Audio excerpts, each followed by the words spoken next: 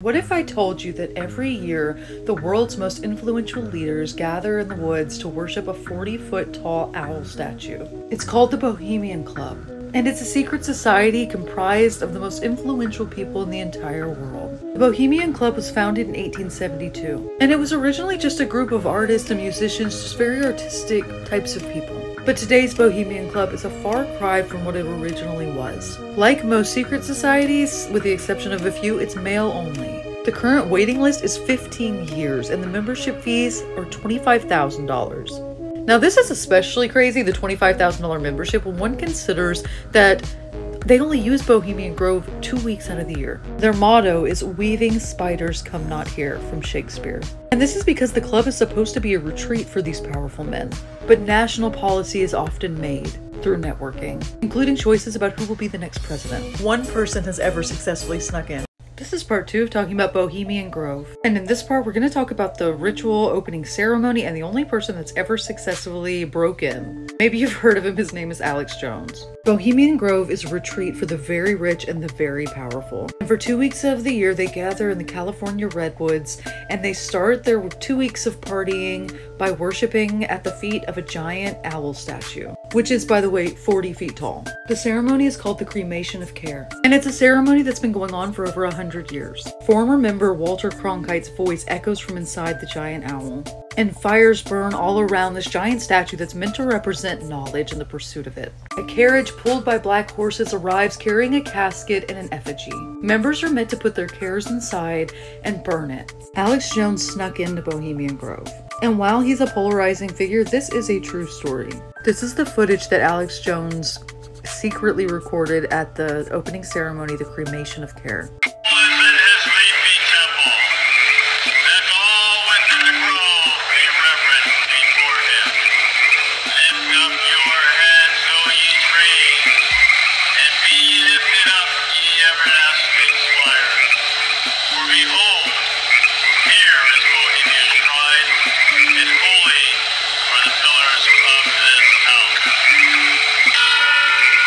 Since Alex Jones' proverbial joyride through their opening ceremony, there's a guard shack now. And that's in addition to the slew of guards and police officers that monitor the front gate. Alex Jones entered through a back route. He literally swam through a swamp.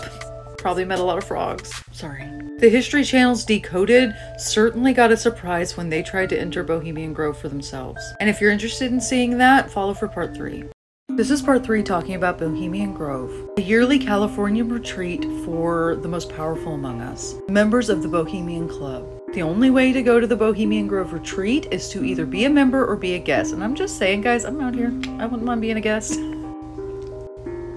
Anyway, History Channel's Decoded got a lot more than they bargained for when they tried to go explore the Bohemian Grove retreat area. Immediately, they noticed security. Okay, well, Violators will be prosecuted. yeah, but on the other hand, uh, there's a parking place up here and the gate is not shut. Even though they were on the middle of a very deserted road, they noticed all of the signs and security cameras. Now you have to really picture it. This is a place in the wilderness, essentially. A retreat hidden among the redwoods. And it's only used for two weeks out of the year. And yet, security showed up rather quickly. It's private property. I'm Buddy. All right, I'm good. Great. Good to see Nice to you. meet you, Scott. Scott, nice to you. You can't take a look? Uh, no, it's private property. Are you a ranger? No, I work for the people that own this. We can't even just go right there. Within minutes, at even the non-active time, like the time that the members use the the facility, security descended. And not only security, police within minutes. There are a lot of implications there that can make the rest of us mad, so I'll just leave that hanging in the air. Got backup, guys. How did you know we were here? Uh, somebody told me. Oh, they did? They dropped a dime? A little owl. told A little owl told you. And are you going to now really truly kick us off? Unfortunately, I'm gonna have to ask you to It's a really fascinating episode, and I suggested it's on YouTube. It's called Decoded. There are those that feel that Bohemian Club and Bohemian Grove is not fair to the rest of us. They say if world leaders are making decisions about about all of our lives that we should be a party to it.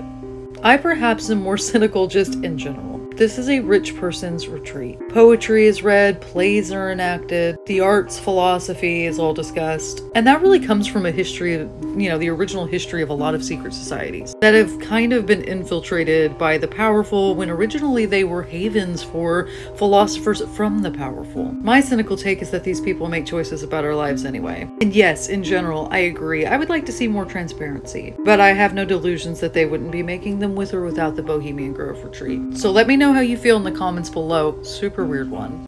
Well, I am once again expecting mail from a secret society member, but this time from a Freemason. And in about a week, the orphanage too, but like, let's focus on Freemasonry right now. And surprisingly, as it is the oldest and most well known, Freemasonry is like the one secret society I've yet to really delve into. And this is really because the topic is quite frankly enormous. Now, it should be stated first that Freemasons don't really consider themselves a part of a secret society. And they say if it is a secret, it's one of the worst kept ones. So the term secret society is more of a colloquialism. And that's because of the secret practices and handshakes that occur behind closed doors in temples and lodges. Freemasonry originated in the Middle Ages and it was a guild of stonemasons. And building is still an integral part of the Freemason belief system. The connection between human architects and God are still paramount, and they even refer to God as the Grand Architect. It's both surprising and unsurprising that so many, including the Catholic Church, consider Freemasonry satanic. As so many so called secret societies developed out of a need to discuss enlightenment away from the prying eyes of a dominantly conservative religious society. And this satanic panic, it endures and it's fueled a lot by this secretive nature that people don't really know what's going on and they see these kind of symbols on government buildings and all around the country. And these symbols actually have fairly mundane meanings. And if you want to know more about the Eye of Providence, which seems to be the one that really gets people riled up, I have a video about that if you want to scroll back.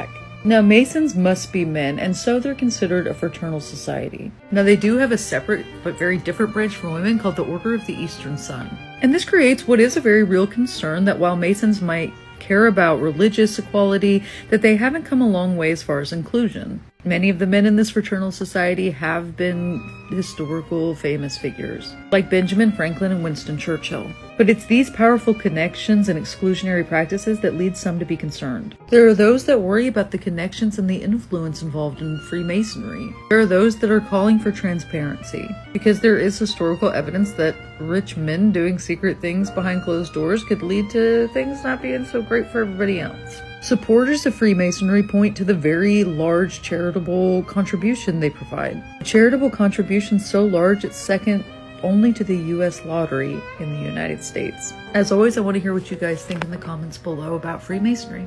Hello and welcome back yet again to Unboxing Mail from a Secret Society. The secret society in question today being for the first time, Freemasonry secret. If you'd like a little backstory on why Freemasons are called a secret society when it's not entirely a secret, and a little bit about their history, I do have a video right before this about that. And this box today comes to us from one of my friends from the shadows. I have several friends from secret societies that I only know online and I don't know a lot about them personally, and you guys will sometimes see them in my comments. So please stick around because I'm going to be unboxing it in just a second. Now this is probably the largest box I've received yet from any secret society member, and I have been told beforehand that every item in it is of significance to Freemasons. So let's open it up and see what's inside. Ooh, you guys, this box was taped like all the way around, so I spared you guys me opening it. All right, let's see what's in here. Kind of smells like metal already, so something metal. Oh, wow. This must be the small thing they mentioned that was in here. This is gorgeous. Wow. I wore gloves. Please don't make fun of me. I just, I, they said it was like really nice stuff and I just, um, whatever. The Lost Keys of Freemasonry. I will 100% read that. Thank you. Something in here smells really nice too, kind of incensey. Now there's some sort of scroll. It's gonna be hard to unroll on camera. Hang on. Guys, I am not an absolute expert in these things, and my friend told me to consider each item a puzzle in itself, so it'll take me a while to figure out all the history. This is beautiful. I think this is maybe what I'm smelling. There's something that smells like incense. Actually, everything in this box is really beautiful. Oh, I know this painting. I teach this painting. This is Raphael's The School of Athens. In these kind of works about philosophers, um, it was a big reason that um, the Renaissance ended. This spot in the vanishing point that Aristotle and Plato are in had previously been reserved for Jesus. So there were all these concerns that, like, these new philosophy ideas and you know all of these scholars and painters replacing philosophy above religion you see how one points to the heavens and one points down to earth that was to show the schism in their philosophy and also it said that you know there are lots of other philosophers in this painting um, but i think that there's a lot more to why he chose this painting. And I can get into that later if you guys want. This was absolutely beautiful. I greatly enjoyed it. Thank you for sending it to me so much. Thank you to all the Secret Society members that send me stuff. It's wonderful and it's so fun. Thank you. Well, I've been reading and I'm sitting in front of my conspiracy board, so let's talk about the Order of Golden Dawn. Now's as good a time as any, right? The Order of Golden Dawn would flourish in the 19th and 20th century. Late 19th, early 20th. The Hermetic Order of Golden Dawn was a magical secret society, and it pulled much of its ideals from the mother of secret society mysticism, Rosicrucianism. It was founded by three Freemasons, and it began as so many things in secret societies do, with a cipher. In 1887, Freemason founder William Wynn Westcott managed to decode what are called the cipher manuscripts, and he used the mystic principles found within them to form a new order, the Order of the Golden Dawn. Similar to Freemasonry and its ranking system, but different in the fact that it allowed women. And both Rosicrucianism and the Order of the Golden Dawn would go on to be kind of umbrellas for, you know, all of these other mystical secret societies, like the still existing um, Ordo Templi Orientis. And the Order of the Golden Dawn practiced just about every form of magic that you can think of alchemy, tarot reading, astral projection. And they're said to have even inspired Thelemic principles in Wicca. And I can talk about Thelema, Thelema, I'm never quite sure if you guys want another video, but that was Aleister Crowley's writings. And it too was inspired much by Rosicrucianism with that a little bit of Christian, a little bit of you know, Egyptian inspiration. But dissent would grow in the Order of the Golden Dawn. For a while, they seemed too high to touch. They had a thriving society of a hundred prominent members, including Bram Stoker and all of these other really well-known authors, and Aleister Crowley. You see, the founder, Westcott, said that only he could speak to something he called secret chiefs through the help of a psychic named Anna Sprengel. No one else ever met her, and these secret chiefs borrowed from the Islamic faith would only speak to her and knew all about mysticism. They were the premier source. And members were getting a little antsy that they couldn't speak to these secret chiefs too. And once Westcott was exposed for being a member and had to quit the order, people really started getting upset. For one, the society was passed on to another one of the original founders, Mathers. And Mathers was very good friends with this guy, Aleister Crowley who, as I said earlier, would go on to form his own order. And that's because nobody wanted him in the Order of the Golden Dawn. Mathers, despite objections, pushed Aleister through the rankings. And this would be the final straw that fractured the Order of the Golden Dawn. Today you can see the marks they've left behind in Wicca and Thelema, but the actual order seems to no longer exist. However, in a cruel twist of irony, Aleister Crowley's Thelema has inspired several other secret societies that do persist, such as the Ordo Templi Orientis. Ellie Kemper today was trending on Twitter for not so good reasons.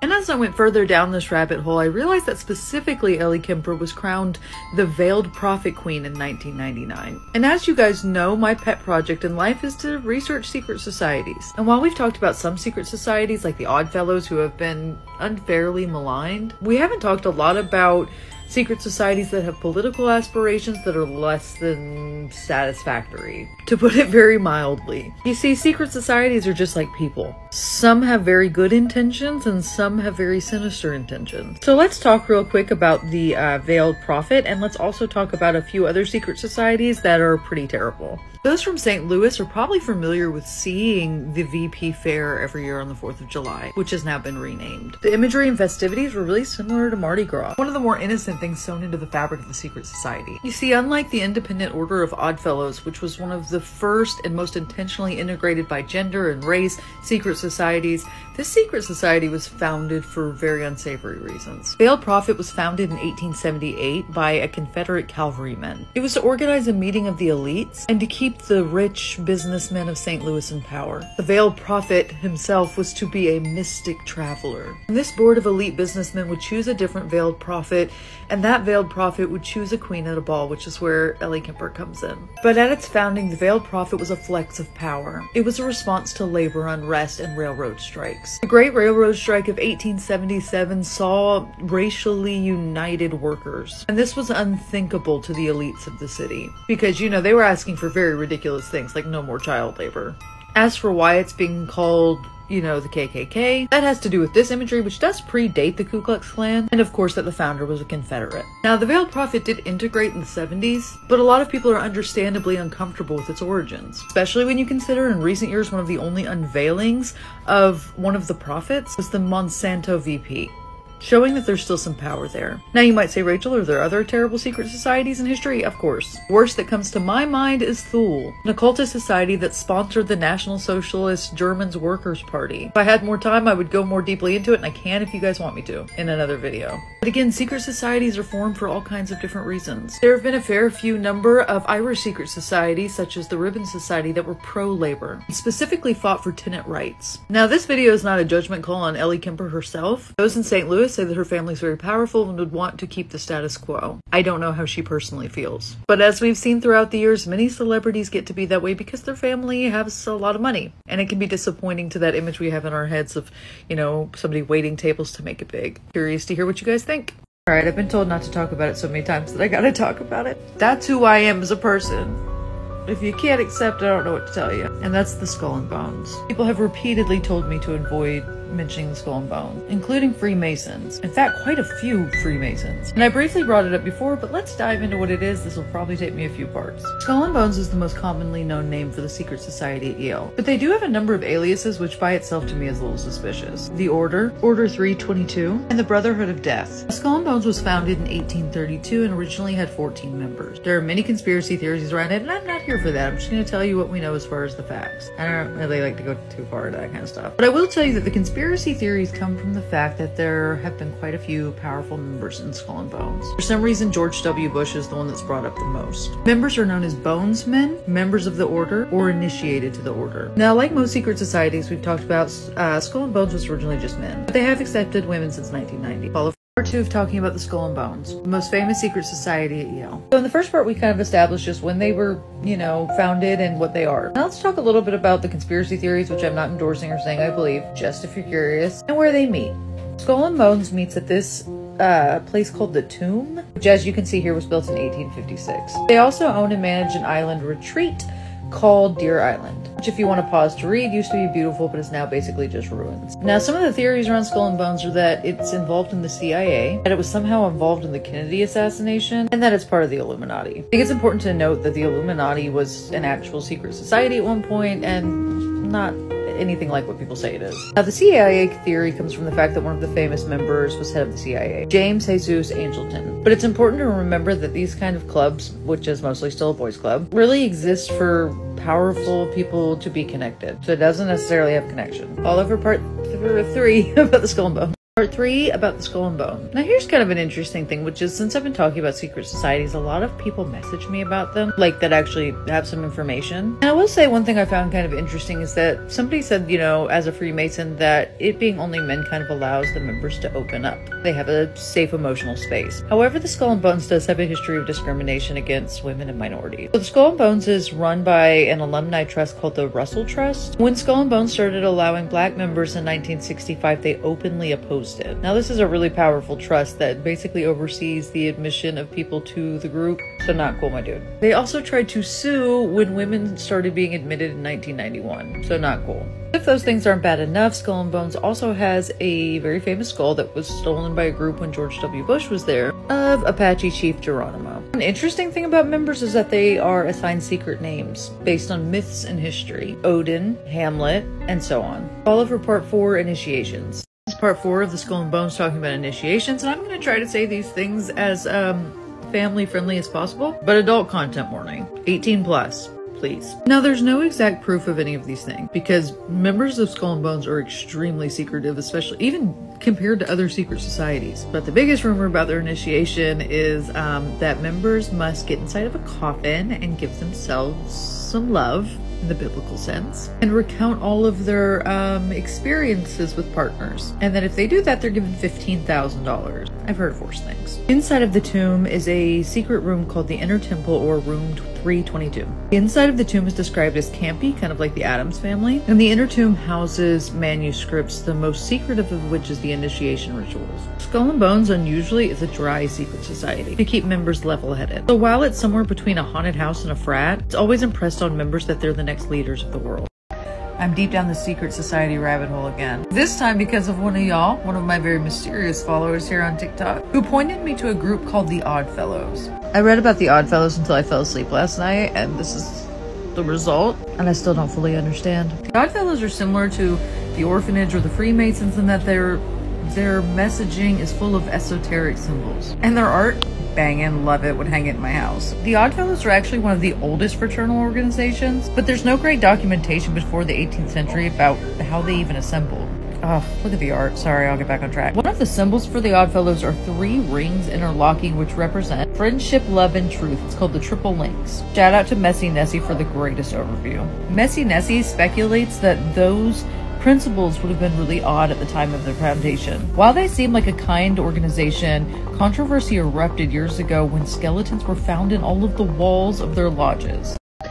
I'm Rachel, and if you're new here, I like to poke the bear that are this country's great secret societies. Today we're talking about the Oddfellows, one of the oldest secret organizations ever. Older, but less well known than the Freemasons. Now, the Oddfellows principles are really nice. They're all about kindness and truth and, you know, helping people. And at first, when I was reading about them, I thought, yeah, there's really nothing here, until I read this article from the LA Times. This article's from 2001, and y'all, it's all about how they had skeletons and, like, real skeletons, human remains inside of all the walls of their lodges, right? So it says Paul Wallace was alone, repairing overloaded circuits in an old brick building when he discovered a tiny door to a dark recess between two walls. Inside was a black wooden box. Curious Wallace tugged it from the resting place. A white shroud appeared, leathery ribs, and white candles. So it's like a whole kit with an actual skeleton. The article goes on to say that the Oddfellows stash skeleton skulls, things like that, inside of drawers and closets, all, all inside their lodges. Many have been found. Members say it's no one's business. This is the Oddfellows part Oddfellows part 3. Okay, so let's talk about why the Oddfellows have skeletons in their walls, closets, attics. Well, they use them in their initiation rituals, but nobody's quite sure like why or how. What people do know is that they're being found more and more in very surprising ways. And that there are many people that think, you know, this has got to have some level of disrespect to these actual people because these are real people and they had loved ones or have loved ones. As you can see here in the LA Times in this article about this, they say the skeletons have sparked police investigations in Missouri, Indiana, Pennsylvania, Nebraska. Look, a work crew fled in terror from finding one by accident in Oklahoma. And if we look to the bottom of the screenshot, we can see that this man was offered two caskets from a disbanding lodge from you know, the Odd Fellows. He thought, you know, great, uh, props, Halloween, whatever, and they had actual skeletons in them. Most members remain closed-lipped even when speaking to police, but a few opened up with the caveat, don't tell.